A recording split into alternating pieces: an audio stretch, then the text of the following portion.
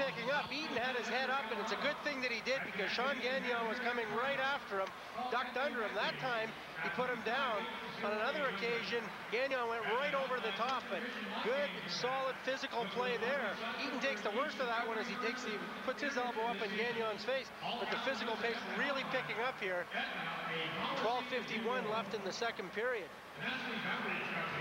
Gagnon came way across the ice. Watch Eaton duck under submarine. Gagnon goes head first into the boards.